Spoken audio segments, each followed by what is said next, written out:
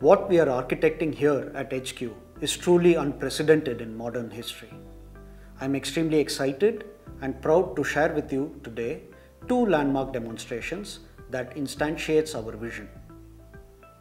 Constructing a chip with 5 billion transistors about the size of a coin that scales across micro and macro cells is nothing short of trivial.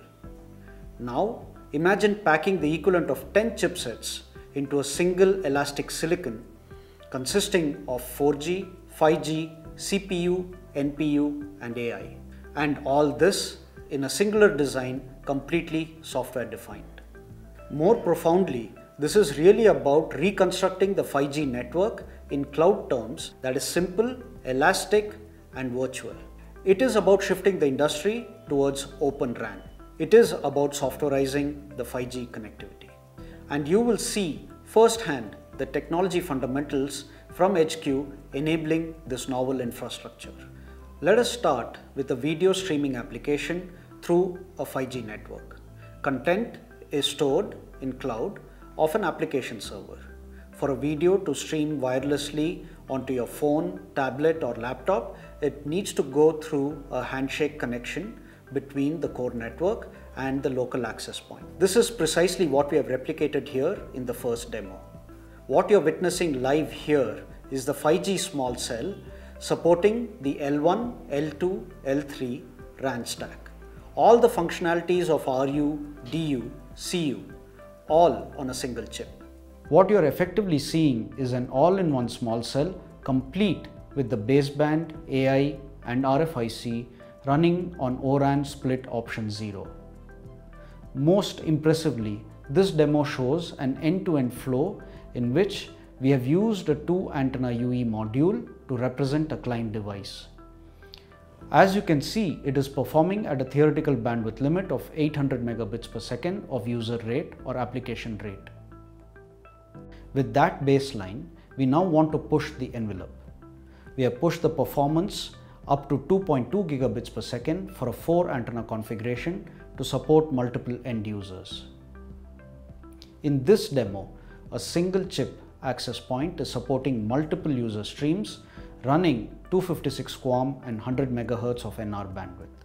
What you have just witnessed is an all-in-one small cell solution screaming at 2.2 gigabits per second of performance but humming at less than 20 watts of full solution power. A historic precedence indeed.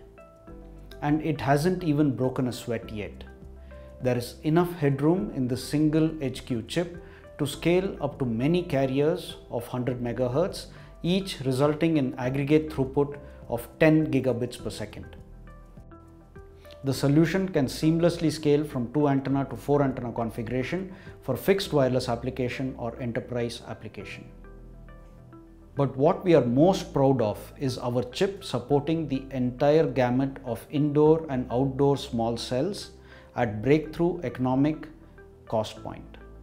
Now take the same chip and let us reprogram it to a DU macro base station application. We keep the same construct but replace the UE module with a RU emulator. In this second demo, our EdgeQ SoC acting as a layer 1 accelerator is paired with an x86 server to represent a full DU base station solution running 4G and 5G physical layer and layer 2 software. What you will see is an inline acceleration of L1 running at 2.2 gigabits per second.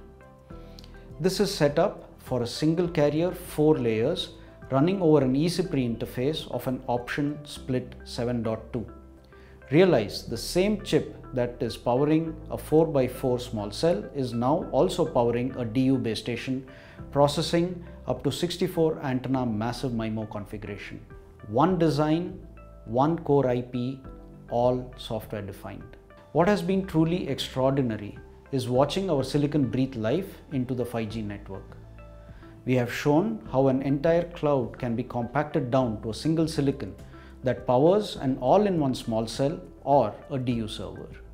We have shown a scalable architecture running on RISC-V architecture completely software driven at breakthrough economics and power levels. This has been a phenomenal journey and we still have a few more things to show you. Until next time, from the edge.